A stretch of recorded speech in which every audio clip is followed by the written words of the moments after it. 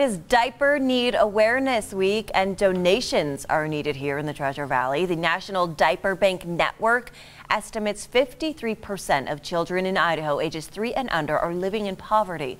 The Idaho Diaper Bank held a Stuff the Bus diaper drive today to collect those donations.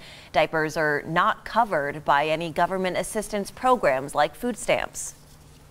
People are struggling with choices between having to putting gas in their car to get to a job, between food, between